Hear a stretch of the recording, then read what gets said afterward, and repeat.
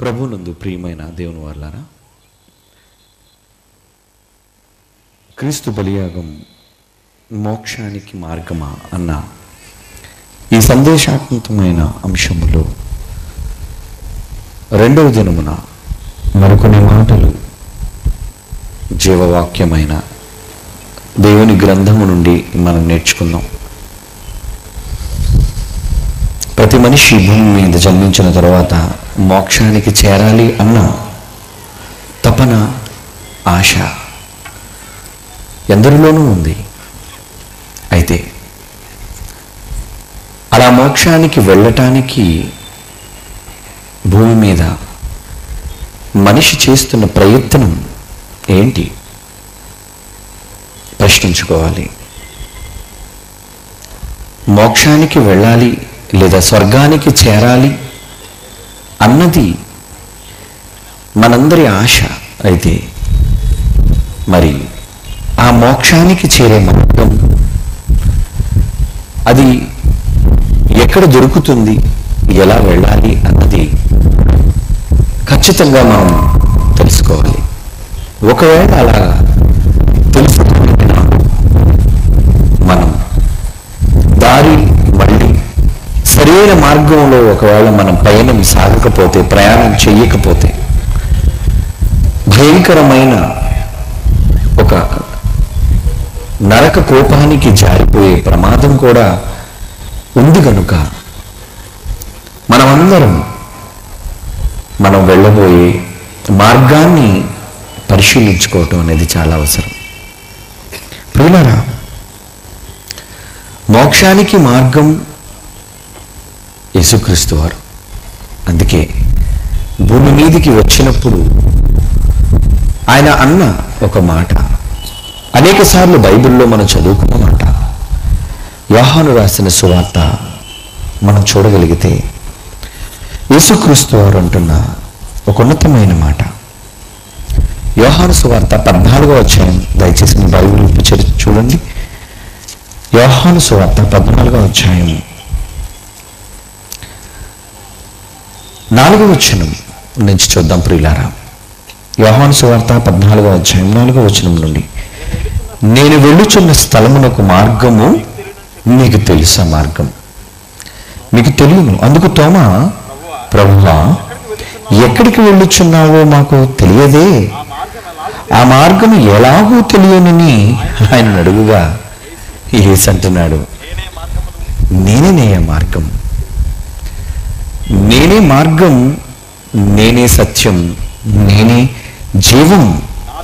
నా ద్వారానే తప్ప ఎవడును తండ్రి వద్దకు రాడు అంటున్నాడు చూడండి. అంటే మోక్షానికి యేసు మాత్రమే నేనే అంటున్నాడు చూడండి. మరెప్పుడు తండ్రి యుద్ధకు చేరే మార్గాన్ని ప్రబోధించలేదు. ఒకవేళ మీరు మోక్షానికి చేరాలి అంటే పరలోకాన్ని స్వతంత్రించుకోవాలి అంటే ఖచ్చితంగా యేసును ఎరిగిన వారుగా ఉండాలి. క్రీస్తును తెలుసుకున్న వారిగా మనం ఉండాలి ప్రియులారా. నా ద్వారానే తప్ప ఎవ్వడును తండ్రి యొద్దకు రాడు రాలేడు. కనుక ప్రియులారా ఈరోజు మనమంతా కలలు కంటున్న ఆ తండ్రి రాజ్యములోనికి ఆ దేవుని సన్నిధిలోనికి మనం వెళ్ళాలి అంటే ఒక చక్కని మార్గాన్ని దేవుడు సుభగం చేశాడు. అది భూమి మీద తన కుమారుడైన యేసుక్రీస్తు ద్వారా మానవులందరి కొరకు ఆయన ఒక బాటను సిద్ధం చేశారండి. అదే మోక్ష మార్గం. అది మతానికి సంబంధించినది కాదు. ఒక వర్గానికి ఒక ప్రాంతానికి చెందినది కాదు.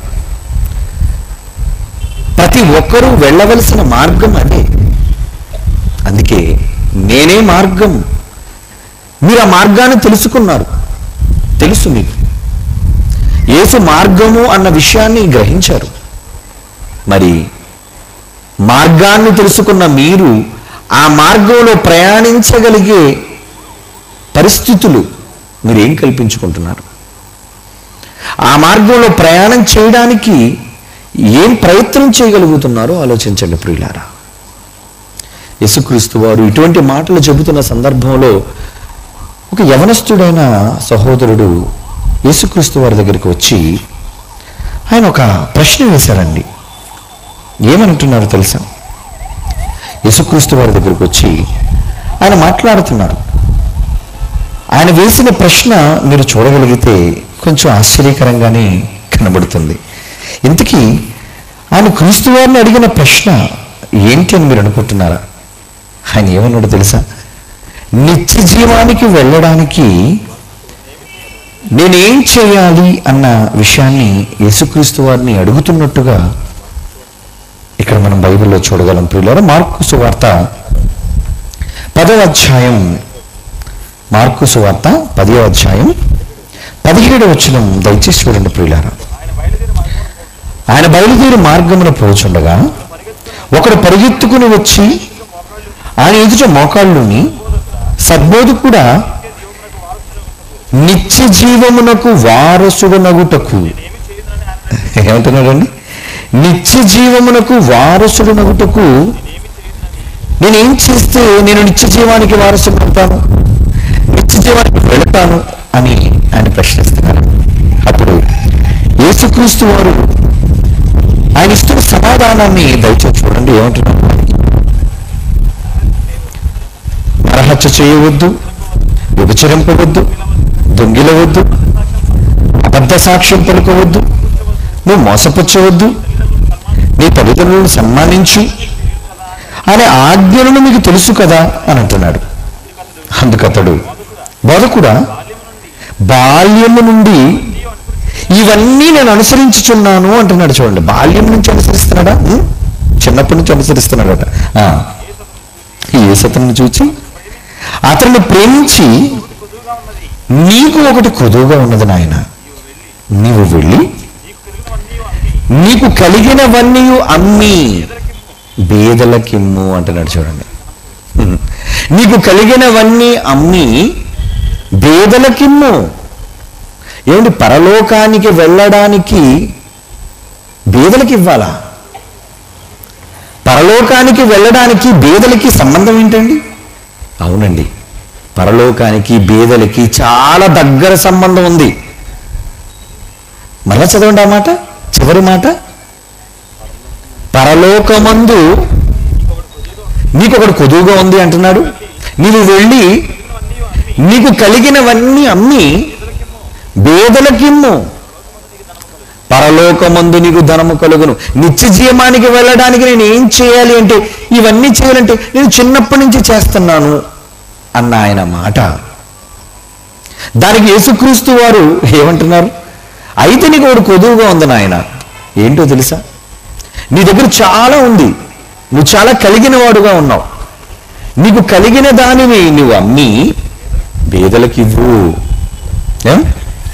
అలా బేదలకు ఇస్తే ఏమవుతుంది? పరలోకమందు ధనం. నీ మార్గం సులభమవుతుంది. ఆ మోక్ష మార్గానికి నువ్వు వెళ్ళగలవు అంటున్నాడు. ఏమండి? అసలు యేసుక్రీస్తు వారు భూమి మీదకి ఎందుకు వచ్చారు అన్నది మీరు చూడగలిగితే ఆయన ఎందుకు వచ్చాడు అన్నది ఒక చక్కటి సందర్భం బైబిల్లో రాయబడింది ప్రియులారా. ఈ సందర్భంలో మీరు చూడండి యేసుక్రీస్తు వారు రాక ఎందుకు జరిగింది భూమి మీద అంటే ఒక మాట చూద్దాం. లోకరాసిన సువార్త నాలుగో అధ్యాయం చూడండి. లోకరాసిన సువార్త నాలుగో అధ్యాయం పదిహేడు వచ్చినం పద్దెనిమిదో వచ్చినం లోకరాసిన సువార్త నాలుగో అధ్యాయం పదిహేడు వచ్చినం పద్దెనిమిదో వచ్చినం ప్రవక్త అయిన గ్రంథం ఆయన చేతికి ఇవ్వబడును ఆయన గ్రంథమును విప్పగా ప్రభు ఆత్మ నా మీద ఉన్నది. పేదలకు సువార్త ప్రకటించుటకై ఆయన నన్ను అభిషేకించను అంటున్నాడు చూడండి. ఏమండి? బేదలకు సువార్త ప్రకటించుటకయ్యా. యేసుక్రీస్తు వారు భూమి మీదకి ఎందుకు వచ్చారంట?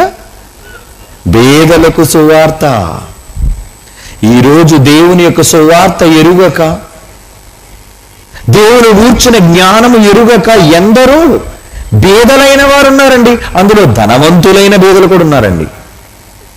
చాలా మంది ధనవంతులైన వాళ్ళు ఉన్నారు. కానీ వాళ్ళు క్రీస్తు సువార్తను ఎరుగని బేదలు. బేదలకు సువార్త ప్రకటించుటకై. అంటే బేదలు ఏం వినాలి? సువార్త వినాలి. సువార్త వినని వారు ఎవరు? బేదలు. మరి సువార్త ప్రకటించడానికి బేదల కోసం నేను వచ్చాను అంటున్నాడు చూడండి. అంటే పరలోకం బేదలది. పరలోక రాజ్యం బేదలకు మరి మీరు పేదలు కావాలి అంటే ఏం చేయాలి? పరలోకానికి వెళ్ళాలంటే నిత్య జీవానికి వెళ్ళడానికి నేను ఏం చేయాలి అని అడిగినందుకు యవనస్తుడితో యేసు చెప్పిన మాట ఏంటి? నువ్వు కలిగినది అమ్మి బీదలకు ఇవ్వు నాయన. బేదలకు సువార్త ప్రకటించు. ఏమండి ఈ సభలు ఎందుకు పెట్టారనుకుంటున్నారు? ఈ సభలు పెట్టడానికి ఉద్దేశం ఏమనుకుంటున్నారు? ఎందరో సువార్త ఎరుగని బేదలు వినాలి. దేవుని మార్గాన్ని గురించి వినాలి. వారు తెలుసుకోవాలి. కనుక పేదలకు సువార్త ప్రకటించుటకై నిత్య జీవం కోసం వాళ్ళు ఏం చేశారు తెలుసండి తమ ధనాన్ని ఖర్చు పెట్టారండి. తమ కలిగిన వాటిని ఇచ్చారండి. అందులో మీరు కూడా పారిభాగస్తులయ్యారు. అవునండి. మీరు కూడా ఈరోజు కానుక రూపంలో ఇచ్చారు చూసారు? అది ఎవరి కోసం? ఈ సభల కోసం. ఈ సంపద బేదలైన వాళ్ళకి పంచాలి. ఇది లేని అనేక మంది. కారుల్లో తిరిగేవాళ్ళు విమానాల్లో తిరిగేవారు ఆస్తులు కూడగట్టుకున్నవారు ఎందరో చివరికి కటిక దరిద్రులైన బేదలు ఉన్నారు. ఐశ్వర్యవంతులైన బేదలు కూడా ఉన్నారు. మరి వీళ్ళందరికీ నిత్య జీవానికి వెళ్ళే మార్గం తెలియాలి అంటే బేదలకు సువార్త ప్రకటింపబడాలి. ఆ బేదలకు సువార్త ఇదేనండి. మోక్ష మార్గానికి వెళ్ళాలి అంటే యేసు వచ్చింది ఎందుకు? యేసు చనిపోయినది ఎందుకు? యేసు తిరిగి లేచింది ఎందుకు? ఈ విషయాలను ఈ సమాజానికి మనం ప్రకటించాలి. అలా ప్రకటించటం కోసమేనండి ఈ ఖర్చు ఈ వ్యయం. ఈ వ్యయం ఎందుకు చేశారనుకున్నారు? పరలోక రాజ్యం మోక్ష మార్గానికి వెళ్ళాలి అంటే ఆ పరలోకానికి మనం చేరాలి అంటే ఏమండి? ఈ ఖర్చు మనం చేయక తప్పదు. అది ముఖ్యంగా బేదలకు సువార్త ప్రకటించడానికి. యేసుక్రీస్తు వారు భూమి మీదకి రాక ప్రధాన కారణం అదే కదండి. ఇప్పుడు మీరు చదివారు బేదలకు సువార్త ప్రకటించుటకై. ఆయన నన్ను అభిషేకించను. ఈరోజు సమాజంలో ఎందరో సువార్త ఎరుగని బీదలు ఉన్నారు ప్రియులారా. వాళ్ళకు మీ కష్టాన్ని ఇచ్చి మీ ధనాన్ని ఖర్చు చేసి ఎటువంటి సువార్తను మీరు ప్రకటించగలుగుతున్నారో ఆలోచించండి. ఏమండి? ఏది నిజమైన సువార్త? ఎలాగ చేసేది నిజమైన సువార్త? ఏమిటి నాలుగు గోడల మధ్యలోనికి మనం వెళ్ళి ప్రతిరోజు దేవుడు ప్రార్థించి నాలుగు వాక్యాలు చదువుకుంటే అది సువార్త ప్రకటింపబడినట్ట? క్రైస్తవులైన ప్రతి ఒక్కరూ ప్రతి ఆదివారం నాడు గుడులకు వెళ్ళి రెండు మూడు గంటలు ఆరాధన పేరట వ్యయం చేస్తున్నారే మంచిది మంచిదే. కానీ అది సువార్త కాదండి. మీరు అక్కడికి వెళుతుంది వాక్యములో ఒకరినొకరు హెచ్చరించుకోవడానికి తెలియని అనేక విషయాలు బోధకుడి నుండి నేర్చుకోవడానికి ప్రేమ కలిగి ఉండడానికి హెచ్చరింపబడడానికి అందుకు మీరు వెళుతున్నారు. వెళ్ళండి మంచిదే. కానీ వెళ్ళిన మీరు వార్త ప్రకటించడానికి ఏమైనా ప్రణాళికను సిద్ధం చేయగలుగుతున్నారా? వెళుతున్నాం వింటున్నాం వస్తున్నాం వెళుతున్నాం వింటున్నాం వస్తున్నాం. కానీ సువార్త ప్రకటన ఏది చెప్పండి? అది బోధకుని పని మాత్రమని మీరు అనుకోకండి. మరి మీ పని? మీరు చేయవలసిందేంటి? మీకు కలిగిన వాటిని ఇచ్చైనా సరే బేదలకు సువార్త ప్రకటించవలసిన అవసరత ఉందండి మన మీద. అవును. ఎందరో క్రీస్తుని ఎరిగిన వారు తెలియని వారు ఈ సమాజంలో ఉన్నారు. మరి వాళ్ళకి ప్రకటించరా? సువార్త ప్రకటించు వారి పాదములు సుందరములు అన్నాడు కదా. ప్రకటించేవారు పంపబడని ఎళ్ళ వారు ఎట్లు విందురు అన్నాడు కదా. రోమిలకు రాసిన పత్రిక చూడండి. అపోసలైన పౌలు రోమిలకు రాస్తున్నాడండి. పదివ అధ్యాయం. పదిహేను వచ్చిన రోమిలకు రాసిన పత్రిక పదివ అధ్యాయం పదిహేను వచ్చిన ప్రకటించువాడు లేకుండా వారు ఎట్లు విందురు? ప్రకటించువారు పంపబడని ఎడల వారు ఎట్లు ప్రకటించుదురు? ఇందు విషయమై ఉత్తమమైన వాటిని గూర్చి సువార్తను ప్రకటించువారి పాదములు ఎంతో ఎంతో సుందరములైనవి అంటున్నాడండి. సుందరములుగా మీ పాదాలు మారాలి అంటే క్రీస్తు సువార్తను చేతబట్టి ప్రకటించాలి అండి మీరు ప్రకటించాలి. క్రీస్తు సువార్తను అది వీధి పట్టణం రాష్ట్రం దేశం అని కాకుండా ప్రతి చోటకు వెళ్ళి క్రీస్తును వచ్చిన సువార్త ప్రకటన మీరు పరిచయించేవారండి. ఆయన గురించిన మాటలు మీరు తెలియజెప్పాలి ప్రియులారా. ఆదివారం నాడు దేవుని దగ్గరకు వెళ్ళి ఒకసారి మీ మన రూపాన్ని ప్రదర్శించినంత మాత్రాన అది సువార్త ప్రకటన కాదు. జాగ్రత్త. పరలోకానికి వెళ్ళాలి అంటే అవునండి. క్షమించడానికి మిమ్మల్ని పరిపూర్ణ ఆయన బలి వలన రక్తము వల్ల పవిత్రపరచబడిన మనం క్రైస్తవులుగా మారిన తరువాత ఎంతమంది నిత్య జీవానికి వారసులు కాగలుగుతున్నాం? అయిపోయిందా? బాప్తీసం తీసుకున్నంత మాత్రాన పరలోకానికి వెళ్ళిపోతామండి? కాదండి ఇంకా చాలా కార్యక్రమాలు ఉన్నాయి. మీ కన్ను మూసినంత వరకు ఈ మధ్య జీవిత కాలంలో మీరు చేయవలసిన ఎన్నో పనులు. వాటన్నిటినీ మీరు చేయవలసిన వారుగా ఉన్నారు ప్రియులారా. వాటిని విస్మరించకండి. వాటిని విస్మరించకండి. యేసుక్రీస్తు వారు ఎందుకు వచ్చారు? అసలు యేసుక్రీస్తు వారు ఎందుకు వచ్చారు? బేదలకు సువార్త ప్రకటించడానికని విన్నారు కదా. మరొక మాట చూడండి యేసుక్రీస్తు వారు ఏమంటున్నారు? ఆయన ఏమంటున్నారో చూడండి. యోహాను సువార్తలో ఆరో అధ్యాయం ముప్పై ఎనిమిది. నా ఇష్టము నెరవేర్చుకున్నటకు నేను రాలేదు. యేసుక్రీస్తు వారు ఎందుకు వచ్చారండి? నా ఇష్టము నెరవేర్చుకున్నటకు నేను రాలేదు. నన్ను పంపిన వాని చిత్తము నెరవేర్చుటకే పరలోకము నుండి దిగి వచ్చి తిని. యేసుక్రీస్తు వారు ఎందుకు వచ్చారండి? పరలోకము నుంచి ఎందుకు దిగాడు ఆయన? పరలోకములో దేవుని దగ్గర స్థానం ఏంటో తెలుసండి దేవునితో సమానముగా ఉన్న స్థానం అండి ఆయనది. అలాంటి సమానముగా ఉన్న స్థానాన్ని విడిచిపెట్టి ఎందుకు వచ్చాడు ఈ భూమి మీదకి ఎందుకు వచ్చాడు తండ్రి యొక్క చిత్తాన్ని నెరవేర్చడానికి తండ్రి సంకల్పాన్ని నెరవేర్చడానికి ఆయన వచ్చాడండి కారణజన్ముడుగా. మరి మనం ఎందుకు జన్మించాం? ఏ కారణము లేదా? మనము జన్మించడానికి కూడా ఒక ప్రత్యేకమైన కారణం ఉంది. ఏంటో తెలుసా? సర్వలోకమునకు వెళ్ళి సర్వ సృష్టికి సువార్తను ప్రకటించండి అన్న ఒక బాధ్యతను అప్పగించాడండి యేసుక్రీస్తు వారు వెళ్ళిపోతూ. ఏమన్నాడు శిష్యులతో? ఈరోజు ఆయన నమ్మిన శిష్యులుగా క్రైస్తవులైన మనతో ఆయన చెప్పిన మాట ఏంటి కాగా మీరు సర్వలోకములకు వెళ్ళి సర్వ సృష్టికి సువార్తను ప్రకటించండి. అదే మిమ్మల్ని పరలోకానికి తీసుకుని వెళ్ళే మార్గం. నిత్య జీవ మార్గం అది. మరి ఆ నిత్య జీవ మార్గంలోనికి వెళ్ళడానికి ఎంతమంది సువార్త ప్రకటనలో ముందుండగలుగుతున్నారు? చెప్పండి. మీ ధనాన్ని మీ కాలాన్ని మీ ఆరోగ్యాన్ని నిజంగా దేవుడి కోసం ఖర్చు చేయగలుగుతున్నారా ఈరోజు? క్రీస్తు పవిత్ర రక్తం వల్ల కడుగబడిన మనం దేవుని పనిలో ఉండగలుగుతున్నామా? ఏం? దేవుని పనిలో ఉండగలుగుతున్నామా? ఏమండి యేసుక్రీస్తు వారు వచ్చి తండ్రి చిత్తాన్ని నెరవేర్చి వెళ్ళిపోయి ఏం చేశాడు ఆయన? మీకు ఒక మాదిరి చూపించాడు ఒక మార్గాన్ని చూపించాడండి. పేతురు రాసిన మొదటి పత్రిక. పేతురు రాసిన మొదటి పత్రిక రెండవ అధ్యాయంలో పేతురు రాసిన రెండవ మొదటి పత్రిక రెండవ అధ్యాయం ఇరవై ఒకటో వచ్చిన చూడండి పిల్లలు ఏమంటున్నాడు పేతురు రాసిన మొదటి పత్రిక రెండో అధ్యాయం ఇరవై ఒకటి. క్రీస్తు కూడా మీ కొరకు బాధపడి మీరు తన అడుగు జాడలయందు నడుచుకొనవలెనని. మాదిరి మాదిరి ఉంచిపోయాను అంటున్నాడు చూడండి ప్రియులారా. ఎందుకండి మాదిరి ఉంచాడు? మీరు ఆయనలాగే ఆ మార్గములో మీరు వెళ్ళాలి అని ఒక మాదిరిని చూపించాడండి. ఇలాగ నడవాలి అని ఒక మార్గాన్ని ఉపదేశించాడండి. ఆ మార్గంలో ఎంతమంది ఈరోజు ప్రయాణం చేయగలుగుతున్నారు చెప్పండి.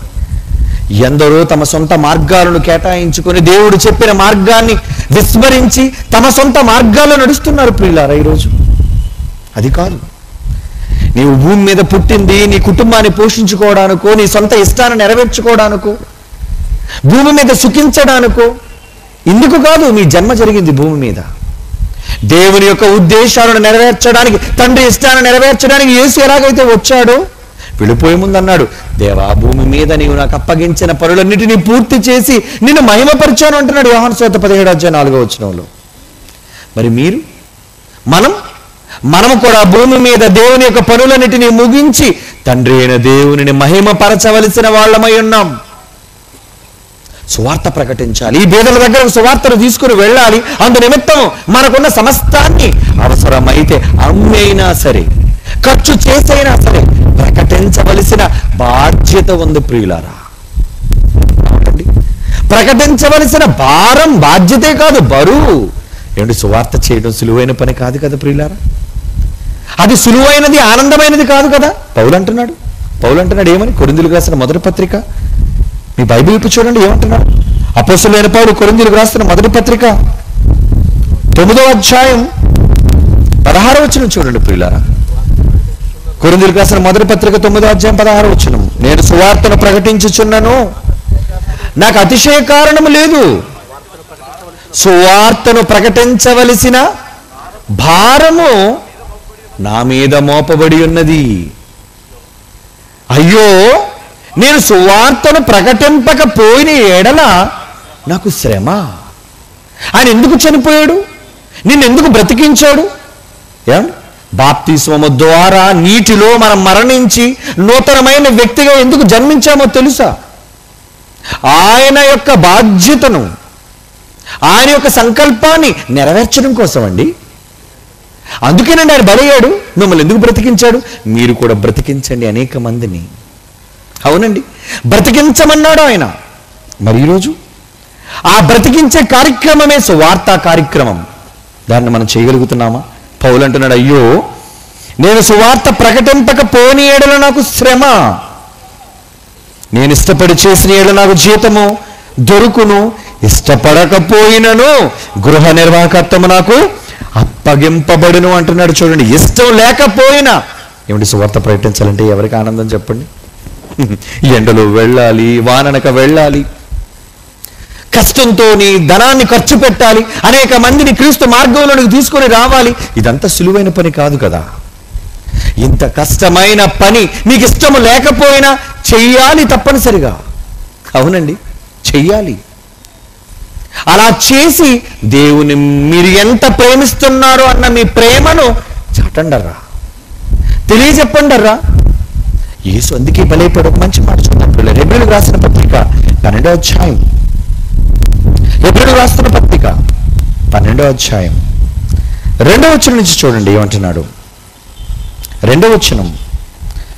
మొదటి నుంచి కలిసి ఉన్నాయి ఆ మాట ఆ మాటలు. ఇంత గొప్ప సాక్షి సమూహం మేఘం వలె మనల్ని ఆవరించి ఉన్నందున మనము కూడా ప్రతి భారమును సులువుగా చిక్కులు పెట్టి పాపమును విడిచి విశ్వాసమును బట్టి కర్తయు దాన్ని కొనసాగించేవాడు నేను యేసు వైపు చూచుచు మన ఎదుట ఉంచబడిన పందెముల్లో పరలోకాన్ని అందుకోవాలని పందెములో ఓపికతో పరిగెత్తుదుము. ఆయన తన ఎదుట ఉంచబడిన ఆనందము కొరకై. యేసుక్రీస్తు వారు తన ఎదుట ఉంచబడింది ఒక ఆనందం అండి ఒక మహాలోకం. ఆనందము నిమిత్తమై అవమానము.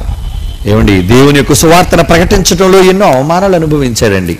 అవమానమును నిర్లక్ష్య పెట్టి సిలువను సహించి దేవుని యొక్క సింహాసనమునకు కుడి పార్శ్వమున ఆసీనుడై ఉన్నాడు. అవునండి. ఎందుకు ఆయన సిలువను ఎందుకు సహించాడు? ఎందుకండి సిలువను సహించాడు? ఎందుకు సహించాలి? మీరు సహించకపోతే మీరు సింహాసనాసీనులు కాలేరు. ఆ లోకంలో ఆ రాజ్యంలోనికి మీరు ప్రవేశించలేరు ప్రియులారా. అవునండి. అలా ప్రవేశించాలి అంటే ఏం చేయాలి? ఏం చేయాలి? దేవునిని ప్రకటించాలి. అదేనండి మీరు దేవుని పట్ల చూపించేది. ఒక మాట నిన్న మనం చదువుకున్నాం కదా ఏమని? ఆయన మరణముత్తము ప్రాణము పెట్టెను. కనుక దీని వలన ప్రేమ ఎట్టిదని తెలుసుకొనిచున్నాం. ప్రాణం పెట్టి మనల్ని ప్రేమించాడండి. ప్రాణము పెట్టడానికి ఆయన ముందు ప్రేమించాడండి. ప్రేమించి ప్రేమకు క్రియ చూపించాడండి ఆయన. మరి మనం? మనము కూడా ప్రాణము పెట్టబద్దులమై ఉన్నాము. ఎలా పెట్టాలి ప్రాణం? ఆయనలో మనం కూడా సిలువెక్కిపోదా చెప్పండి. మనం కూడా సిలువెక్కిపోదామా ఆయనలో సిలువెక్కమని చెప్పలేదండి. ఆయనలో సిలువ మరణం పొందమని చెప్పలేదండి. కానీ ఆయన పడిన కష్టాలు ఆయన పడిన వేదనలు సమస్యలు సువార్త ప్రకటనలో వేదలకు సువార్త ప్రకటించడంలో మీరు కూడా కష్టాన్ని అనుభవించండి. అవన్నీ సిలువ శ్రమలు. ప్రకటించడానికి మీరు అనుభవించే బాధలు. అవునండి. ఈరోజు మనం యేసు ప్రభువును ప్రేమిస్తున్నామని చెప్పుకుంటున్నాం. నిజంగా యేసు ప్రభువును ప్రేమించే వాళ్ళమైతే ఎలాగూ ప్రేమించాలి? ఎలా ప్రేమించాలండి? పద్దెనిమిది వచ్చిన చిన్నపిల్లలారా మాటతోనూ నాలుకతో కాక క్రియ అంటున్నాడు చూడండి. సత్యముతోనూ ప్రేమింతము. ఎలాగండి ప్రేమిస్తున్నాం? మనమంతా యేసును ప్రేమిస్తున్న వాళ్ళమండి. ఎలాగూ ప్రేమిస్తున్నాం? మాట చేత ఏమండి? నాలుకతో కాకుండా క్రియతోనూ సత్యముతో ప్రేమించాలంటున్నాడండి. అంటే యేసు ప్రభువుని మీరు ప్రేమించే వాళ్ళైతే ప్రేమ మీ క్రియలలో కనబడుతుందా? మీ క్రియలలో చూపించాలి. దేవుణ్ణి ఎంత ప్రేమించారు? ఏమిటి దేవుని ప్రేమించబట్టే కదండి ఈ కార్యక్రమాన్ని ఏర్పాటు చేశారు. ఇందులో ఆయన ప్రేమ కనబడుతుంది ఆయన ఎంత ప్రేమించారు అన్నది. మరి మీరు దేవుని పట్ల మీ ప్రేమను ఎలా చూపించగలుగుతున్నారు? క్రియలలో చూపించగలుగుతున్నారా? ప్రేమకు అర్థం క్రియండి. క్రియ లేనిది ప్రేమ లేదు ప్రియులారా. అవును. మీరు క్రియలతో ప్రేమించాలి అంటున్నాడండి. క్రియలతో. ఒకవేళ మీరు క్రియలు చేయని నాడు దేవుణ్ణి ప్రేమించని వారు. దేవుణ్ణి ప్రేమించే వాళ్ళు కాలేరు మీరు. పేతుడిని అడిగాడు పేతుడు నన్ను ప్రేమిస్తున్నావా? అని అడిగాడండి. అయ్యో ఎందుకు ప్రేమించట్లేదు ప్రభా? ప్రేమిస్తున్నాను అన్నాడు. అప్పుడు ఏసన్న మాట ఏంటో తెలుసండి? యోహాను సువార్త ఇరవై అధ్యాయం. యోహాను సువార్త ఇరవై ఒకటో అధ్యాయం. పదిహేడు. యోహాను కుమారుడు అయిన సీమోను వీరికంటే నీవు నన్ను ఎక్కువగా ప్రేమించుచున్నావా? అని అడిగాను. అవును ప్రభువా. నేను నిన్ను ప్రేమించుచున్నాను అని అడిగినప్పుడు ఏసేమంటున్నాడు? నా గొర్రెలను మేపుము. ఏంటా గొర్రెలు? ఎంతో మంది క్రీస్తు సువార్తని ఎరుగక ఎటు పోవాలో తెలియక మోక్ష మార్గాన్ని తెలియక అల్లాడిపోతున్న ఈ ప్రపంచంలోని ఎందరో గొర్రెలు లాంటి స్వభావాన్ని కలిగిన వారుగా ఉన్నారండి. వాళ్ళందరినీ మీరు నడిపించాలి. వాళ్ళందరినీ నడిపించే నాదుడు లేరు. వాళ్ళకి మీరే సన్మార్గాన్ని చూపించి ప్రబోధించి క్రీస్తు యొక్క మార్గంలోనికి నడిపించాలి. అందుకు ఎలా? క్రియతో క్రియతో ప్రేమించండి. అనేక కార్యక్రమాలు చేసి ప్రేమించండి. మనం చేసి ప్రేమించాలి దేవునిని. క్రియలు లేకుండా దేవుని ప్రేమిస్తున్నామని మనం చెబితే అది దేవుణ్ణి ప్రేమించినట్టు కాదు ప్రియులారా క్రియలు లేని నమ్మకం మృతం అన్నాడు అందుకే. దేవుని పిల్లారా యేసు క్రీస్తు వారు బలి దేనికో తెలుసా? మీకు ఆ నిత్య జీవాన్ని అనుగ్రహించడం కోసమే. మరి ఆ నిత్య జీవాన్ని పొందుతున్న మనం అనేక మంది ఆ నిత్య జీవ మార్గంలోనికి నడిపించడానికి ఏం చేయగలుగుతున్నాం ఒక మంచి మాట చూద్దాం. ఎబ్రిల్ రాసిన పత్రిక తొమ్మిదో అధ్యాయం పదిహేను వచ్చిన చూడండి ప్రియుల ఎబ్రిల్ రాసిన పత్రిక తొమ్మిదో అధ్యాయం పదిహేను వచ్చినం మొదటి నిబంధన కాలములో ఈ హేతువు చేత మొదటి నిబంధన కాలములో జరిగిన అపరాధముల నుండి విమోచనము కలుగునట్లు ఆయన మరణము పొందినందున పిలువబడిన వారు నిత్యమైన స్వాస్థ్యమును గూర్చిన వాగ్దానము పొందినట్లు ఆయన కొత్త నిబంధనకు మధ్యవర్తి అన్నాడు. నిత్యమైన స్వాస్థ్యం. నిత్యమైన స్వాస్థ్యం. ఆ మోక్ష మార్గం మీకు రావాలి అంటే అందుకేనండి ఆయన బలయ్యాడు మరణము పొందినందున మరణించాడు. ఇరవై ఆరు వచ్చిన అదే అధ్యాయం. ఎబ్రిల్ రాసిన పత్రిక తొమ్మిదో అధ్యాయం ఇరవై ఆరు. అట్లయిన ఎడల జగత్తు పునాది వేయబడక మునుపే ఆయన అనేక పర్యాయములు శ్రమ పడవలసి వచ్చును. అయితే యుగముల సమాప్తి ఎందు తన్ను తానే బలిగా అర్పించుకున్నట వలన పాప నివారణ చేయుటకై ఒక్కసారే ప్రత్యక్షపరచబడును. పాప నివారణ చేయడానికి పాప నివారణ చేయడానికి ఆయన ఒక్కసారే బలయ్యాడండి. ఎందుకు బలి కావలసి వచ్చింది? మన మీద ఉన్న అపరాధాలని పాపాలని నివారించడానికండి ఆయన వచ్చాడు. మరో మంచి మాట చూద్దాం. మొదటి యోహాను పత్రిక ఐదో అధ్యాయం పదకొండో వచ్చిన మొదటి యోహాను పత్రిక ఐదో అధ్యాయం పదకొండో వచ్చిన చూడండి ప్రియులారా. ఆ సాక్ష్యం ఏదనగా దేవుడు మనకు నిత్య జీవమును దయచేసను. ఈ జీవము ఆయన కుమారుని ఎందున్నది? ఏం చేశారటండి? దేవుడు నిత్య జీవం అనుగ్రహించాడట. ఆ నిత్య జీవం ఎవరిలో ఉందండి? మోక్ష మార్గం ఎవరిలో ఉంది? క్రీస్తులో ఉంది. కనుకనే అనేకులు ఆయన దగ్గరకు వచ్చారు. అనేకులు ఆయన హత్తుకున్నారండి. అనేకులు ఆయన ఎద్దకు రాగలుగుతున్నారు. ఎందుకో తెలుసా? ఆయన మాత్రమే మోక్షానికి నడిపించే మార్గం. కానీ ఈరోజు అనేక మంది ఆయన ఆయన దగ్గరకు రావడం చూసి అసూయపడుతున్నారు. ద్వేషిస్తున్నారు. వద్దర్రా. ఎవరిని ద్వేషించకండి. అందరినీ ప్రేమించండి అందరినీ క్రీస్తు వద్దకు రావడానికి ఆహ్వానించండి. వాళ్ళు పాపులను మీరు అంటున్నారా? వాళ్ళు దుష్టులను మీరు అంటున్నారా? చెడ్డవాళ్ళని మీరు అనుకుంటున్నారా? యేసుక్రీస్తు వారు లోకానికి వచ్చింది అందుకేనండి. ఈరోజు చాలామంది మీరు పాపులు అంటున్నారండి. ఎందుకనాలి చెప్పండి మీరు పాపులని? అసలు యేసు వచ్చిందే పాపుల కోసం కదా. పాపులను రక్షించుటకు యేసుక్రీస్తు ఈ లోకమునకు వచ్చానన్న మాట నమ్మదగినది. పూర్ణ అంగీకారమునకు యోగ్యమైనది అంటున్నాడు. ఆయన పాపుల కోసమే వస్తే ఈరోజు సమాజంలో అనేక సందర్భాలలో చాలా మందిని మనం పాపులుగా గుర్తించి వాళ్ళతో పలకరించలేకపోతున్నాం వాళ్ళతో మాట్లాడలేకపోతున్నాం వాళ్ళకు దూరంగా ఉంటున్నాం. ఏ సందుక వచ్చాడు. పాపుల కోసం అండి వచ్చాడు. డాక్టర్ గారు ఎందుకు వచ్చారు? రోగుల కోసం. రోగులకే ప్రవేశం. ఎందులోనికి? వైద్యశాలలోనికి హాస్పిటల్కి. రోగులకు ప్రవేశం లేదంటే ఎలా? పాపులను పిలువడంపడానికే రండి. యేసుక్రీస్తు వారు వచ్చారు.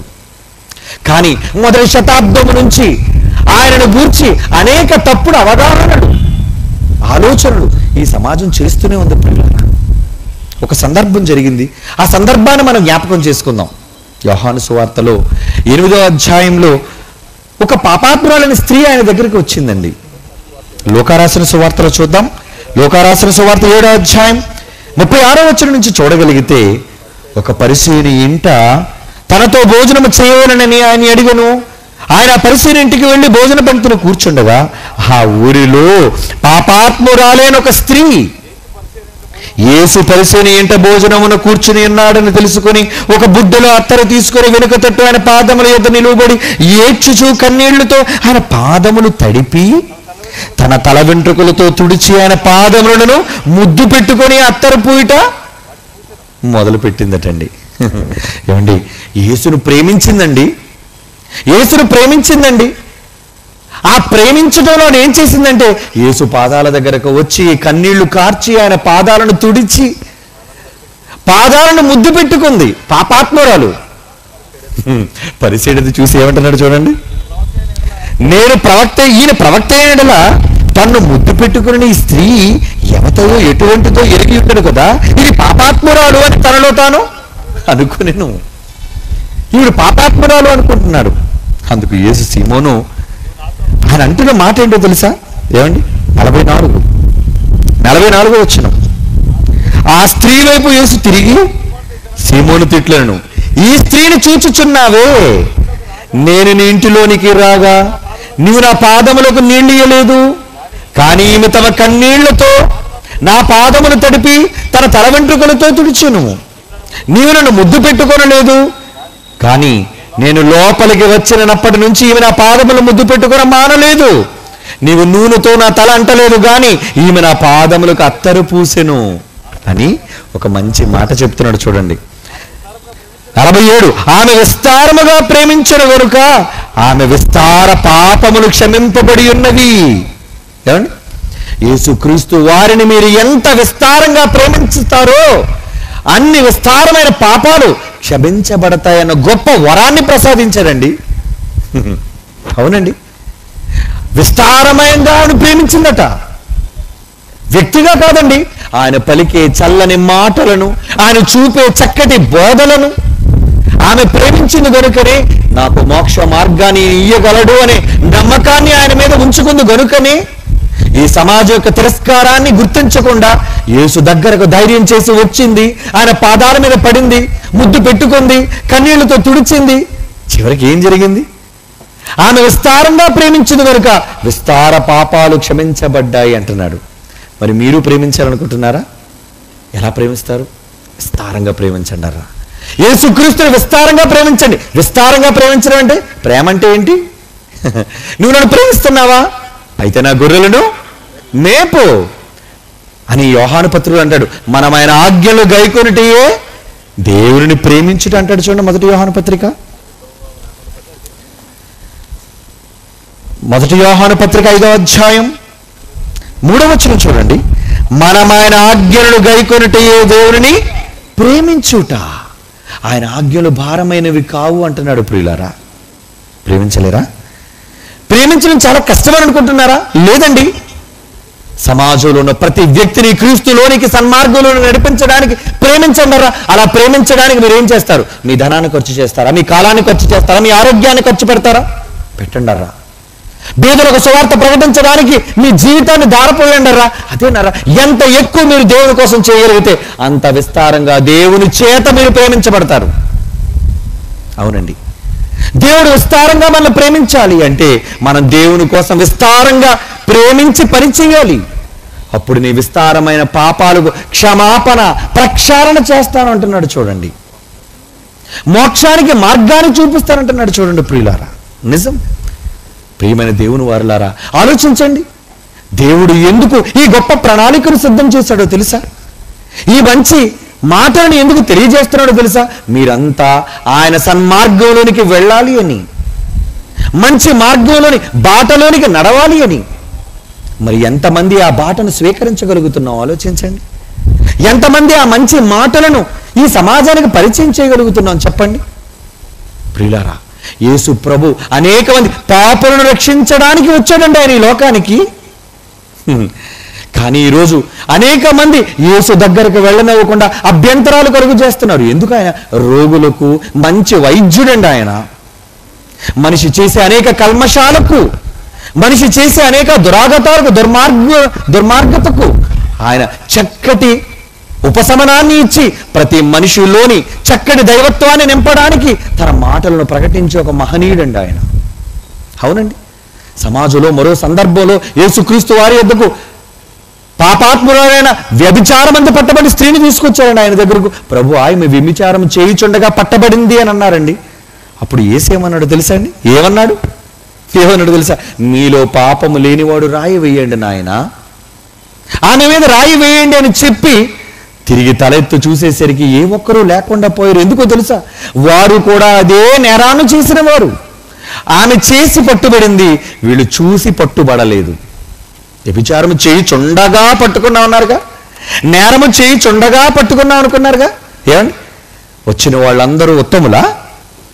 దొరికిన ఈమె నేరస్తురాలా? అని అని యేసుప్రభు దగ్గరకు వచ్చి రాళ్ళతో కొట్టి చంపాలి అన్న ధర్మశాస్త్రాన్ని చెప్పమంటున్నారండి. అందుకు ఏసు ఏమన్నాడు తెలుసా? మీలో పాపము లేనివాడు రాయి వేయండి. యేసు ఆమెలో చూచింది ఏంటో తెలుసా? ఏమండి? ఆమెలో ఉన్న పాపాన్ని ద్వేషించాడు కానీ వ్యక్తిని ద్వేషించలేదండి యేసుక్రీస్తు వారు. అందుకే మహాత్ముడు ఒక మంచి మాట అన్నాడండి. యేసుక్రీస్తును ఆదర్శంగా చేసుకున్న ఈరోజు మన జాతి పుట్ట మహాత్ముడు ఏమన్నాడు తెలుసా? ఒక మంచి మాట అన్నాడండి. Do not hate the sinner but hate the sin అన్నాడు. పాపాన్ని ద్వేషించు. పాపిని కాదు ఏమండి? రోగాన్ని నయం చేయాలి కానీ రోగంతో ఉన్న రోగిన. ఒక రోగంతో ఉన్న రోగిన అండి డాక్టర్ అసహించుకుంటే ఆ రోగికి ఆ రోగం ఎలా నయం అవుతుంది చెప్పండి ప్రియులారా? ఒక భయంకరమైన రోగంతో వచ్చినప్పుడు నిజంగా హాస్పిటల్లోని డాక్టర్ అందించే ప్రేమ వైద్యం. ఒక నర్స్ ఒక సిస్టర్ ఆమె చూపించే ఆదరణ వాళ్ళ దగ్గరకు తీసుకొని వాళ్ళని ముట్టి వాళ్ళని స్వస్థపరిచి బాగు చేసి ఏమండి? ఆ ఆదరణ లేకపోతే వాళ్ళు ఎలా మారుతారు చెప్పండి. వాళ్ళలో రోగం ఎలా నయమవుతుంది చెప్పండి. అందుకేనండి యేసుక్రీస్తు వారు వచ్చారు. సమాజంలో రోగగ్రస్తమైన ఈ మానవ సమాజానికి ఒక చక్కటి వైద్యాన్ని చేయడానికి వచ్చాడండి ఆ మహానుభావుడు. అవునండి. కానీ సమాజం ఆయన అపార్థం చేసుకుంది. ఎప్పుడు ఈయన సుంకరులతో పాపులతో తిరుగుతున్నాడు ఏంటి అనుకుందండి? మోక్ష మార్గానికి నడిపించడానికి అందరినీ తన వద్దకు చేర్చుకున్నాడే కానీ అలా చేర్చుకున్నందుకు ఈయనకి వేరే పని పాట లేదండి. ఎప్పుడు చూసినా ఆ పాపాత్మురాలతో పాపులతో సుంకరులతో ఈయన సహవాసం కలిగి ఉన్నాడని నేరం మోపిందండి. పాపులకు స్నేహితులను బిరించిందండి యేసుక్రీస్తుకి. అయినా యేసు వాటిని వేటిని పట్టించుకోకుండా చక్కటి మోక్ష మార్గాన్ని అనేక మందికి ప్రకటించి తన మార్గంలో తండ్రి అయిన దేవుని ఎద్దకు తీసుకుని వెళ్ళడానికి ఒక మహాబోధను మార్గాన్ని ఉపదేశించాడండి ఆ మహానుభావుడు. ఈరోజు ఆయన ఉపదేశించిన మార్గం ఎందరికో ఆదర్శప్రాయంగా నిలిచిందండి ఆదర్శప్రాయంగా నిలిచింది.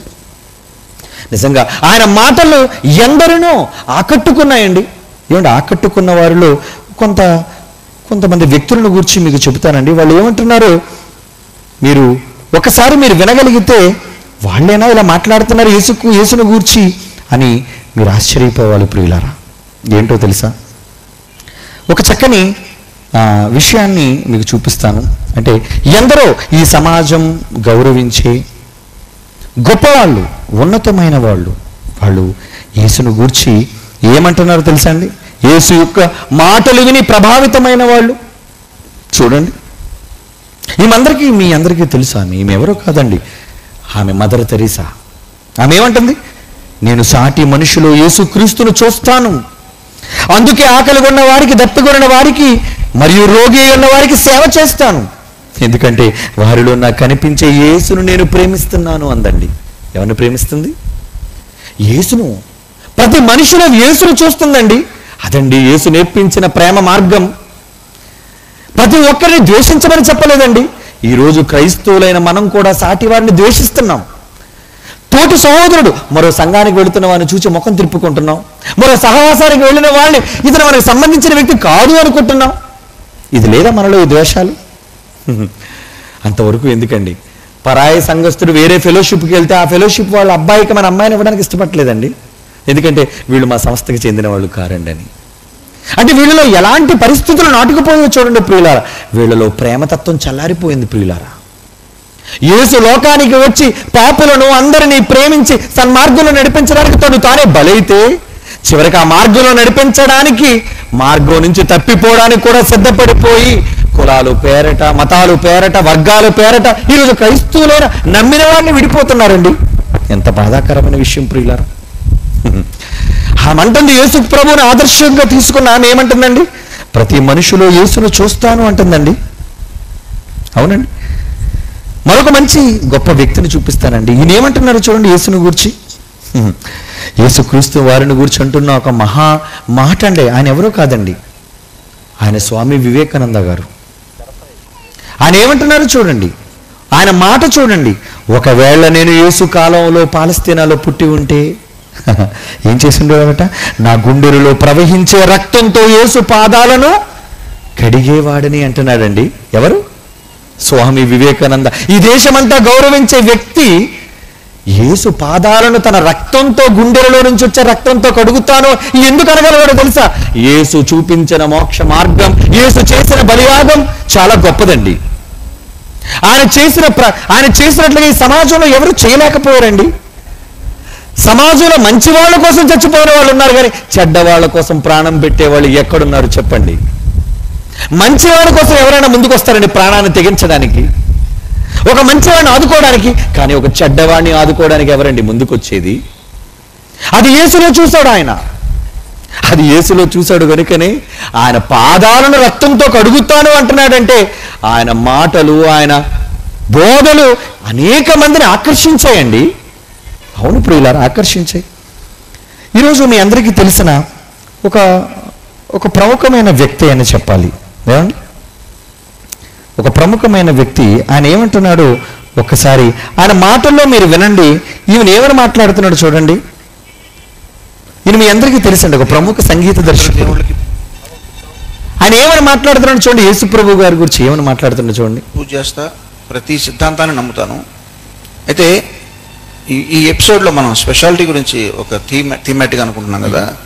జీసస్లో నాకు స్పెషల్గా అనిపించింది ఏంటంటే వేరే ఏ ఫిలాసఫీలో ఏ మతంలోనూ ఎక్కడా లేనిది క్షమించే గుణం. ఆయన కరుణామయుడనే అంటారు ఆయన్ని.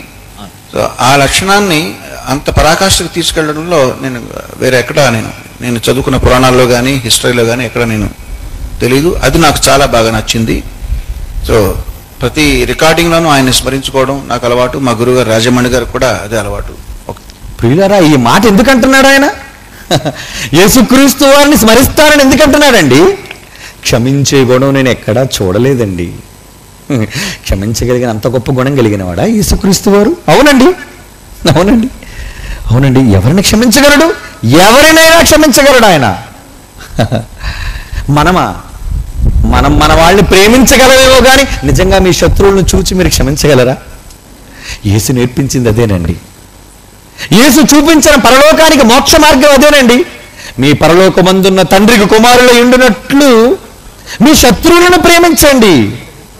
మిమ్మల్ని ఎవరైనా హింసిస్తే వాళ్ళ కోసం ప్రార్థన చేయండి. అప్పుడే మీరు దేవునికి పిల్లలు అవుతారు అని యేసు చెప్పిన మాటను ఈరోజు ఎంతమంది క్రైస్తవులు గుర్తించగలుగుతున్నారు చెప్పండి. శత్రువుల్ని ప్రేమించమని చెబుతున్నప్పుడు ఏమండి సాటి సోదరులు కదా వీళ్ళందరూ? ఎందుకంటే వాళ్ళు చూచి మనం ద్వేషించగలుగుతున్నాం? ఏ? వీళ్ళు వేరండి వీళ్ళు వేరండి వీళ్ళతో మేము కలవండి వీళ్ళతో మేము సంబంధం పెట్టుకోలేమండి. ఎందుకండి? క్రీస్తు నామాన్ని ధరించిన మనం ఈ రోజు ముక్కలు ముక్కలుగా విడిపోయి ఎందుకండి ద్వేషాలు మన మధ్య? శత్రువును సైతం ప్రేమించమని యేసు చెప్పాడు కదండి. మరి ఆ ప్రేమను ఎంతమందిని మనం గౌరవించగలుగుతున్నాం? వాళ్ళు శత్రువులు కాదు కదా. నువ్వు ఏ బైబిల్ నమ్మావో వాళ్ళు అదే బైబిల్ నమ్ముతున్నారు. నువ్వు ఏ క్రీస్తునైతే నువ్వు ఆరాధిస్తున్నావో పూజిస్తున్నావో వాక్యాన్ని ప్రేమిస్తున్నావు వాళ్ళు అదే కదా చేస్తున్నారు. వాళ్ళు ఎందుకు ద్వేషిస్తున్నావు? ఆలోచించండి ప్రియులారా ఎటు వెళ్ళిపోతుందండి? సరి అయినదిగా కనబడే మార్గం ఉంది అటువైపు వెళుతున్నామని అనుకుని పొరబడుతున్నారు క్రైస్తవులారా. మీరు భయంకరమైన ఒక్కర మార్గాన్ని వెళ్ళిపోతున్నారు. వ్యక్తులకు ప్రాధాన్యతనిచ్చి వ్యక్తులను బట్టే వాక్యాన్ని అంగీకరించి చివరకు ఎవరో చెప్పిన వ్యక్తి మాటలను విని దేవునికి దూరం అయిపోయే పరిస్థితిని మనం దిగజారిపోతున్నామండి. ఉత్తర్రా క్రీస్తు నేర్పించిన మోక్ష మార్గం అది కాదు. ఆయన మీకోసం ప్రాణం పెట్టింది అందుకు కాదు. మీరు పాపులను తెలిసినా? నేరస్తులను తెలిసినా? మనం చెడ్డవాళ్ళమని తెలిసినా? ఎందుకు ప్రాణం పెట్టాడో తెలుసా? మనల్ని కాపాడి తనంతటి వారుగా మార్చి ఆయనలా మాదిరి చూపించి వెళ్ళాడండి. మనం ఆయనలా ఉండాలని. మీరు క్రైస్తవులుగా క్రీస్తు పేరును ధరించుకున్న మనం ఈ రోజు మన జీవితాల్లో ఎంతవరకు అండి ప్రభువును చూపించగలుగుతున్నాం? ప్రేమ అన్న రెండు మాటల చేత రెండు కన్నీటి చుక్కల ద్వారా యేసుప్రభుని ప్రేమిస్తున్నామని నోటితో నాలుగుతో చెప్పుకుంటున్నామా కానీ క్రీస్తుని మన జీవితాల్లో మన క్రియలలో చూపించి ప్రేమించలేకపోతున్నామండి. చచ్చిపోయిందండి ఈ రోజు చచ్చిపోయిందండి. ఒకరంటే ఒకరికి ద్వేషం ఒకరంటే ఒకరికి పోటీ తత్వం. ఎందుకండి క్రైస్తవ సమాజంలో ఏమున్నాయి చెప్పండి? కారణం క్రీస్తు యొక్క మోక్ష మార్గం అర్థం కాలేదని మనకే మార్గం అర్థం కానప్పుడు ఎదుటి వారికి ఏ మార్గాన్ని ప్రబోధించగలం చెప్పండి ప్రియులారా? ప్రబోధించలేం. ఎందరో మహనీయులు మహామూర్తులైన వాళ్ళు యేసు క్రీస్తుని అంగీకరించడానికి ఏమండి సమాజంలో కొంతవరకు భయపడినా బహిరంగంగా అంగీకరించలేకపోయారండి. బహిరంగంగా అంగీకరించలేకపోయారు. మొదటి శతాబ్దంలో యేసు ప్రభును కూడా చాలా మంది నమ్మారు. కానీ సమాజం నుంచి వెలివేయబడదుమేమో అని బహిరంగంగా ఒప్పుకోవడానికి భయపడ్డారండి. ఈ రోజు కూడా చాలా మంది అంతర్గతంగా యేసు ప్రభుని అంగీకరిస్తున్నారు. కానీ బహిరంగంగా చెప్పడానికి వాళ్ళు అడ్డుగోడలు అడ్డొస్తున్నాయి ప్రియులారా. అంగీకరించలేకపోతున్నారు. కానీ ఈరోజు మనం అంగీకరించామే.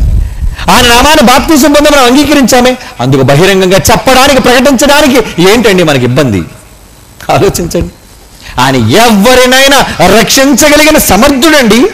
ఎవరినైనా? ఎవరినైనా రక్షించగలిగే సామర్థ్యం యేసుక్రీస్తు వారి దగ్గర ఉంది ప్రియులారా. ఏమండి? ఒక చక్కని సందర్భాన్ని మీకు చూపిస్తానండి. ఒక వార్త అండి ఈ వార్త చెప్పి ముగిస్తాను నేను. యేసుక్రీస్తు మోక్షానికి మార్గంగా ఏం చేయగలడు అన్నది దయచేసి ఈ ఈ విషయంలో మీరు చూడగలిగితే మీరు చాలా ఆశ్చర్యపోతారు ప్రియులారా. ఏంటో తెలుసా? చూడండి. ఆంధ్రజ్యోతిలో పడిందండి ఈ న్యూస్ పేపర్ కటింగ్. రెండో ఇరవై రెండో తేదీ ఐదవ నెల తొంభై ఎనిమిదవ సంవత్సరం అండి. అక్కడ ఏంటో తెలుసా అండి? వాళ్ళ టైటిల్ ఏంటో చూడండి. మహాఘోరం చేశాం. మన్నించండి అంటున్నారండి. ఇంతకు ఎవరట మన్నించమంటుంది? బస్సు దగ్ధం మృతుల కుటుంబాలకు ఖైదీల విన్నపం. ఏమండి గుంటూరు బస్సు విషయంలో చాలా మందిని బస్సులో ఉంటుండగానే నిప్పు పెట్టి తగలబెట్టారండి కొంతమంది. వాళ్ళలో ఎవరో తెలుసా? చూడండి కింద చెప్తున్నాడు. పంతొమ్మిది వందల తొంభై మూడో సంవత్సరం మార్చి ఎనిమిదో తేదీన చిలకలూరుపేట వద్ద బస్సు దగ్ధం చేసిన సంఘటనలో ఇరవై మూడు మంది ప్రాణాలు కోల్పోయారు. ఆ కేసు విచారించిన అదనపు జిల్లా మూడవ జడ్జి తొంభై ఐదో సెప్టెంబర్ ఏడో తేదీ నిందితులు చలపతిరావు విజయవర్ధన్రావుకు ఉరి శిక్ష విధించారు.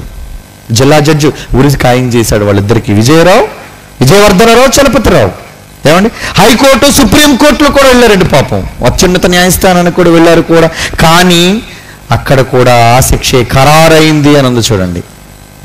దీంతో వారు ఇరువురు తమకు క్షమాభిక్ష ప్రసాదించమని అప్పటి నుండి రాష్ట్రపతికి చేసిన విజ్ఞప్తి తిరస్కరించడంతో పాపం చివరిగా ప్రెసిడెంట్ ఆఫ్ ఇండియా ఆయన కూడా పెట్టుకుంటే పాపం ఆయన కూడా నో నేను మిమ్మల్ని క్షమించలేను అన్నాడండి.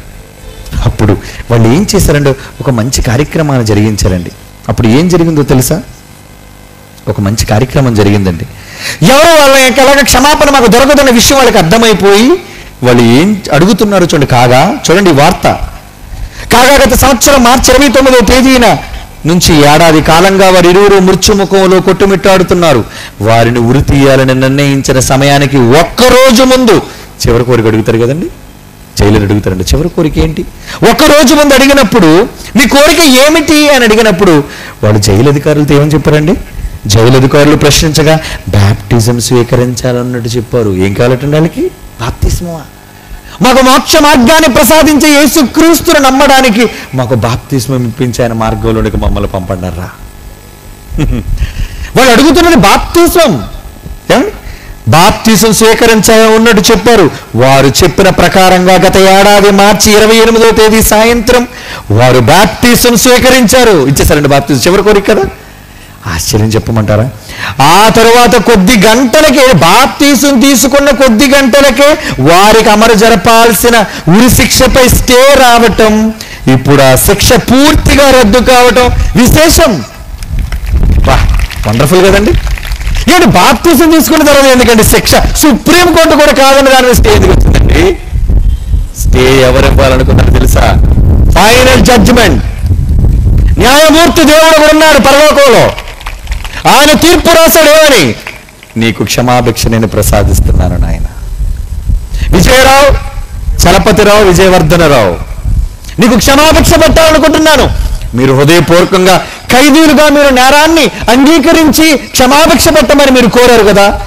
మృతుల కుటుంబాలు అంగీకరించకపోయినా ఈ చట్టాలు అంగీకరించకపోయినా నేను తండ్రిగా మీకు జన్మనిచ్చిన పిల్లలుగా మీ క్షమాపణను నేను స్వీకరిస్తున్నాను అని యేసు మోక్ష మార్గంలోనికి అడుగు పెట్టిన కొద్ది గంటలకే. ఏడు గంటలలో నేను అద్భుతం జరిగిందా? క్రీస్తు మోక్ష మార్గం అంటే ఏమనుకుంటున్నారు? చాలా సులువు అనుకుంటున్నారు కదా. మత మార్పిడి అనుకుంటున్నారు అమాయకులు. తెలియని పిచ్చోళ్ళు. మత మార్పిడి కాదది. జీవ మార్గంలోని అడుగు పెడుతున్నారు అయ్యా. ఈ మార్గంలోనికి డబ్బులిచ్చి తీసుకురావడం అనేది నీచమైన సంస్కృతి. ఈ మార్గంలోనికి ప్రలోభాలు చూపించి తీసుకురావడం అనేది అసహ్యమయమైన సంస్కృతి. ఎవరికి పంచాలో చెప్పండి డబ్బు? ఉం? తీసుకోండి డబ్బు ఇవ్వాలా? గుడికి రావడానికి కోరికలకు ఆశలు నెరవేర్చాలా? మీరు సభకి రావడానికి మీకు ఆటోలు పెట్టాలా? ఏమండి? నేను డబ్బులు ఇచ్చా? లేదండి. డబ్బులు పంచా? లేదండి.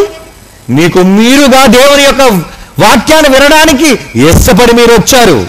ఎందుకంటే మన నిత్య జీవానికి మీరు వెళ్ళాలి అంటే సువార్త ప్రకటించడానికి మీ దగ్గర ఉన్నది ఖర్చు పెట్టకపోతే ఎలా?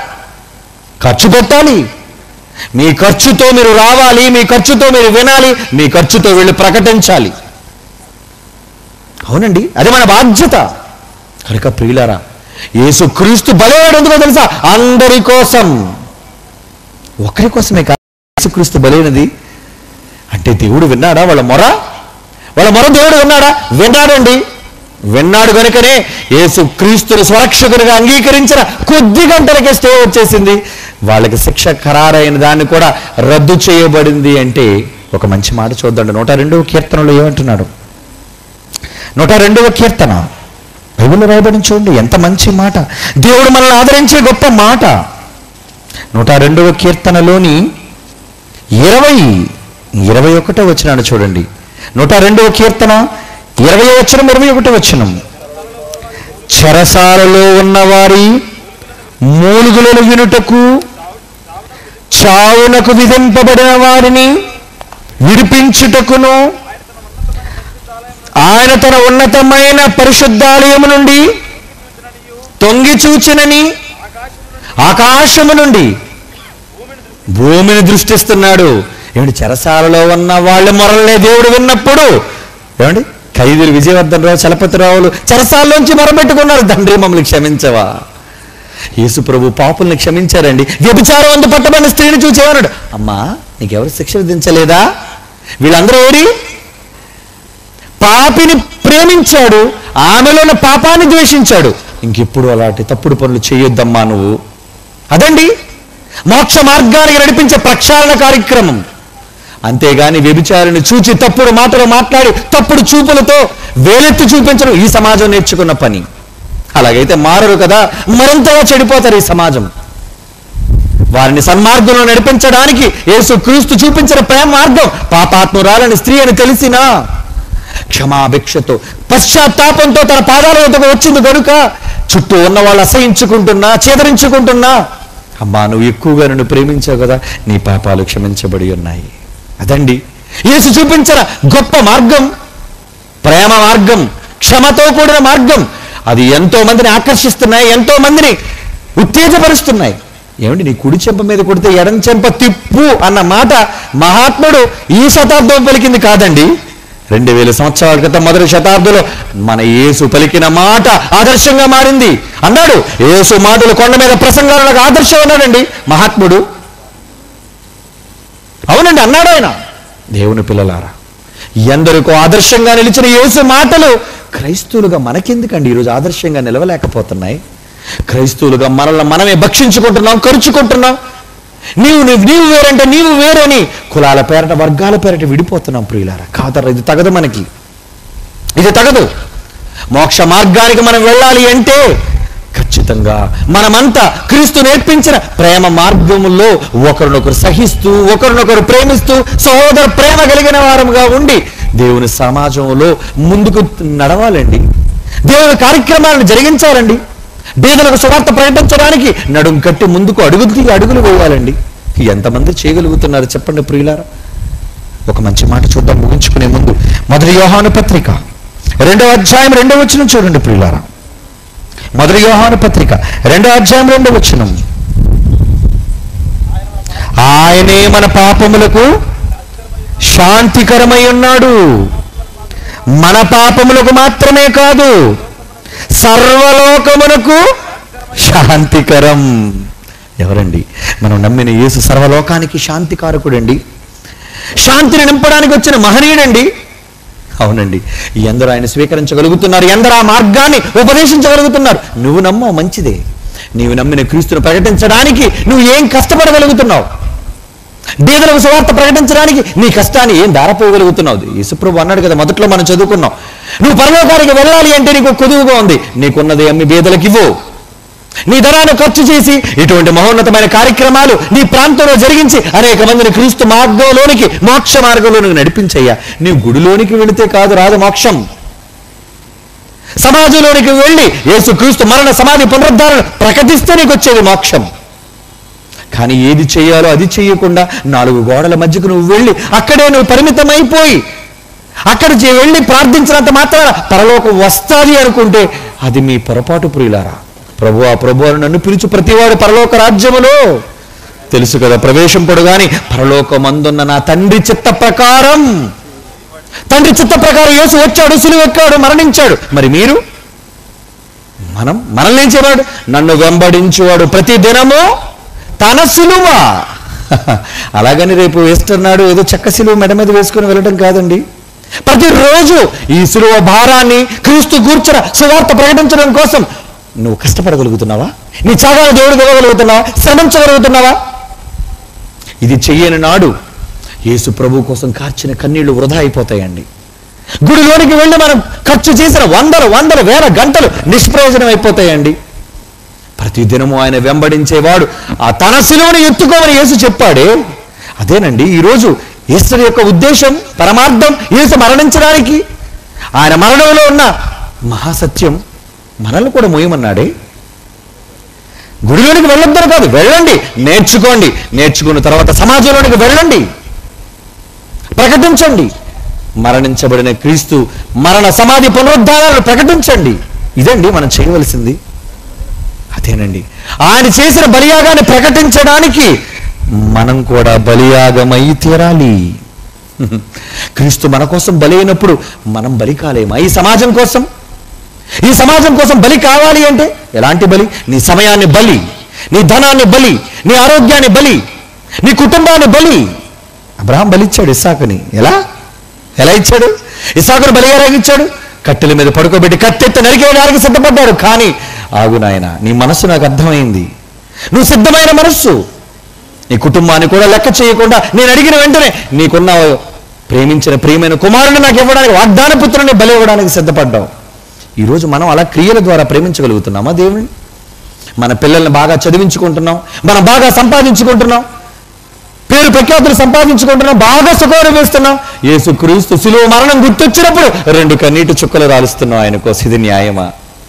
ఆ రోజు ఏసు అన్నాడు కదా అమ్మలారా నా కోసమే కాదర్రా మీరు గుడిలోనికి వెళ్ళి ఏడవలసింది యేసుక్రీస్తు చనిపోవడం మాత్రమే కాదు మీకోసం మీ పిల్లల కోసం కుటుంబాలు కుటుంబాలు నాశనం అయిపోతున్నాయి. కుటుంబాలు కుటుంబాలు దేవునికి అందకుండా భయంకరమైన నరక గుండానికి జారిపోతున్నాయి. మోక్ష మార్గానికి రాకుండా పోతున్నాయి. ఆ కుటుంబాల కోసం మీరు ఏడవరా?